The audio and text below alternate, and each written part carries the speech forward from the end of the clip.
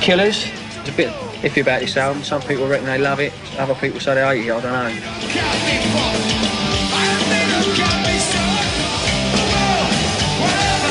This one, the songs are really good, the production's diabolical.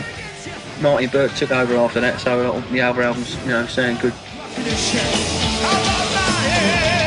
Nothing here. Piece of Mind, this is actually my favourite studio album.